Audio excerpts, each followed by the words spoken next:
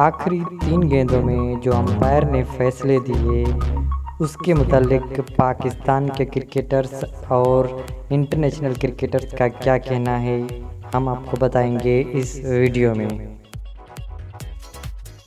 और जल्दी से हमारे चैनल को सब्सक्राइब कर दें। पाकिस्तान और इंडिया का मैच हमेशा किसी के लिए खुशी तो किसी के लिए गम लेकर आता है, आज भी वैसा ही हुआ।